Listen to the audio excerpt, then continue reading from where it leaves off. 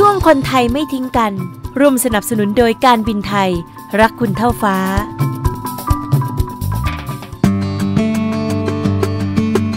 วันนี้เรลิตี้เกาะติดชีวิตน้องเต้น เด็กเร่ร่อนใต้สะพานพุทธ ได้เดินทางมาถึงช่วงสำคัญที่สุดในชีวิตของเด็กวัย 16 ปีคนนี้ กับการร่วมแสดงในคอนเสิร์ตของนักร้องลูกทุ่งสาว ที่มีชื่อเสียงโด่งดังเป็นอันดับหนึ่งของประเทศณเวลานี้ คุณโดงเจ้าของห้องเสื้อแกลนวิวแฟชั่นลาดพร้าว 85 คือผู้อุปการะชุดแดนเซอร์ในการโชว์ให้กับน้องเต้นโดยไม่คิดมูลค่า นับเป็นความเมตตา และร่วมเนรมิตความฝันให้แก่เด็กผู้ได้โอกาสคนหนึ่งให้เป็นจริง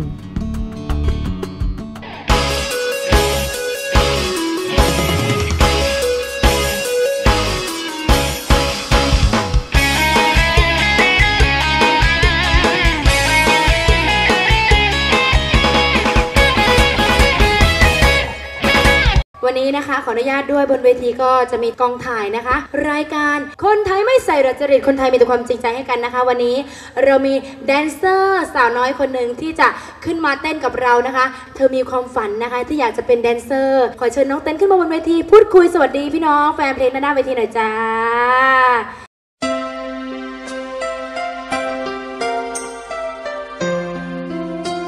นี่คือนาทีอันยิ่งใหญ่ของเด็กเร่ร่อนคนหนึ่ง ที่กำลังทำความฝันของตัวเองให้เป็นจริง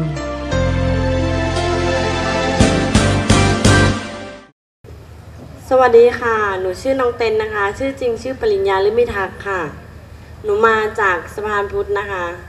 ได้มาขึ้นเวทีกับพี่หญิงลี วันนี้หนูก็ดีใจนะคะที่ได้มาเจอพี่หญิงลีค่ะ ได้ข่าวว่าซ้อมมาสุดฤทธิ์เลยใช่ไหมคะ ซ้อมมานานเหมือนกันนะคะ ก็แบบว่าเป็นเดือนแทบจะทุกวันเลยนะคะ เพราะฉะนั้นแล้วขอฝากคุณพ่อคุณแม่ช่วยเป็นแรงใจส่งรอยยิ้มให้กับน้องเต้นด้วยนะจ๊ะ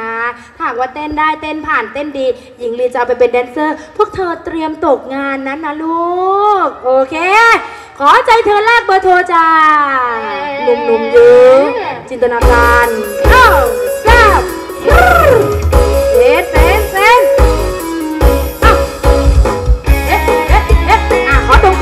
ไฟสว่าง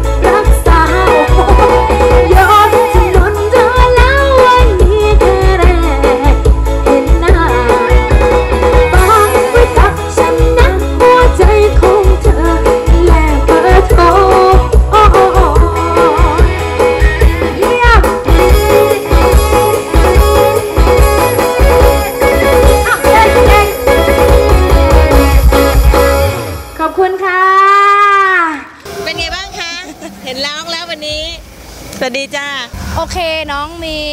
เขาเรียกว่าอะไรอะมีแรงใจเหมือนมีกำลังใจแล้วก็มีความกล้าแสดงออก เพียงแต่ว่าน้องอาจจะไม่มีประสบการณ์ด้านบนเวทีแบบแบบชัดเจนหรือว่าจริงจังมาก่อนน้องก็เลยมีบางท่าที่ที่ไม่เป๊ะเท่าไหร่แต่ แต่ว่าก็ได้ตามสเต็ปนะคะ ก็เหมือนพี่หญิงอะคือคือแต่ก่อนก็คือตามหาโอกาส ก็คือได้ได้โอกาสมาก่อน แล้วก็พอพี่หญิงลีได้รับโอกาส ก็รู้สึกอยากจะมอบโอกาสให้กับหลายๆคน เช่นเดียวกันที่หลายๆคนก็อยากได้รับโอกาสเหมือนเช่นน้องเต้นถ้าจะอยู่ในทีมงานก็ต้องอาจจะเป็น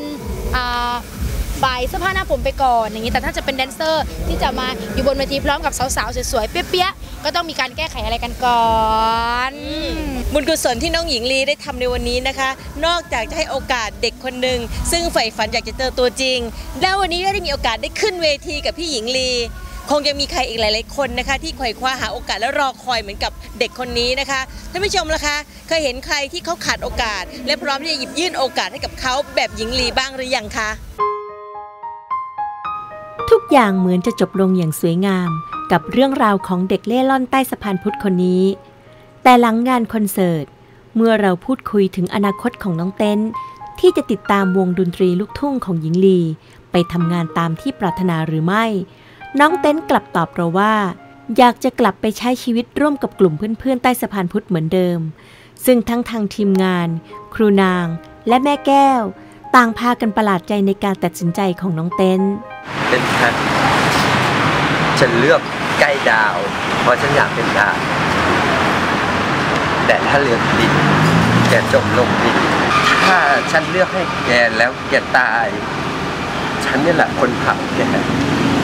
แต่ฉันเลือกแล้วถ้าแกเป็นดาวแกจะกลับมาเผาฉันอยากวันนี้แกเลือกขึ้น วันหน้าแกจะเลือกฉันไหม แกเลือกเพื่อนแล้วแกได้ดีฉันก็ดีใจ แต่ถ้าแกเลือกเพื่อนแล้วแกไปตายล่ะการเดินทางบนเส้นทางชีวิตของน้องเต้น เด็กเร่ร่อนใต้สะพานพุทธคนนี้ จะมีบทสรุปอย่างไร เราคงต้องไปค้นหาคำตอบกันสัปดาห์หน้าค่ะ